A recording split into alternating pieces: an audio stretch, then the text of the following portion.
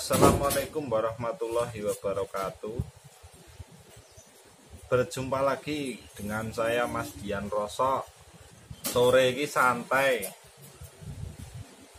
Pokoknya Lagi kurang kerjaan ini. Soalnya usem wong digawe Uang-uang podo rewang. Rosoan ya rada angel. Terus sumbangan ya opah wis timbang nganggur ya wis guyon-guyon kene wae lah. Supaya ora sepaneng pikirane. Ini bukan waton guyon tapi ini cuma guyonan kecil seorang bakul rasa. Pada saat keliling ada saja orang yang menawari aneh-aneh Mas ada susu apa gelem? Nggih purun ngono aku jawabku Lah tak kira ki ada susu ki ya doblek ngono.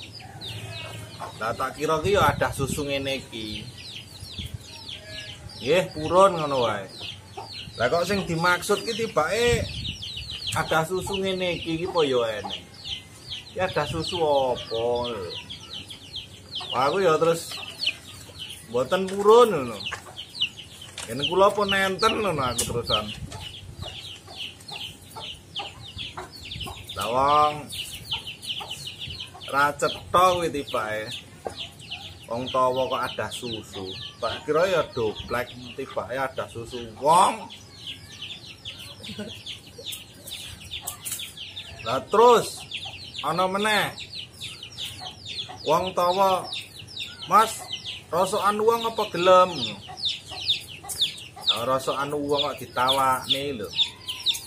Ya aku ya terus jawab. Ya nonton-nonton sih, Mbah. Wonge ayu ya, aku rapati nolak. Eh wonge serada mengkeret ya aku mboten mawon aku terusan. eh, yes. Ngrasakane wong ya ditawakne lho gimana. Wong aneh-aneh ya. Ya jenenge golek rosok ki ya sok ya entuk wong angel, sok entuk wong mayar, sok entuk wong sulet. Wis pokoke dilakoni kabeh. Toko ngerti nek rezekine sangka wong julet kuwi mau liwate ya awake dhewe sing penting kudu sabar.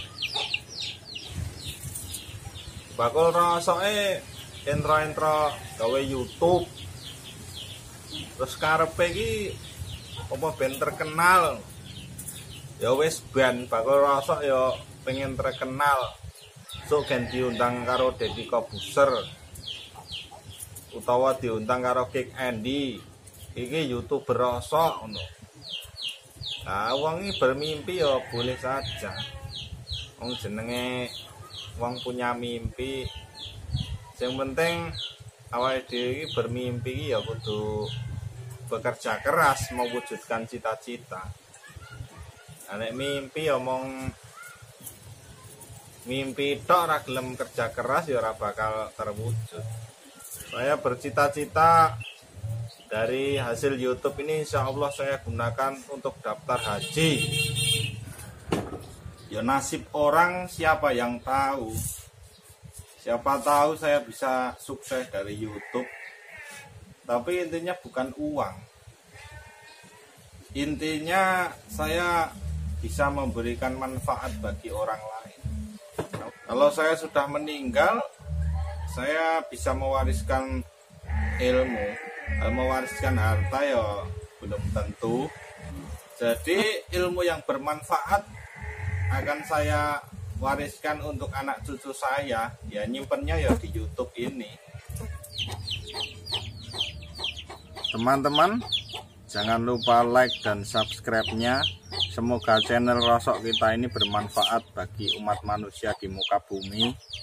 Semoga bermanfaat bagi orang-orang yang memiliki rosok bagi orang-orang yang kepo tentang rosok.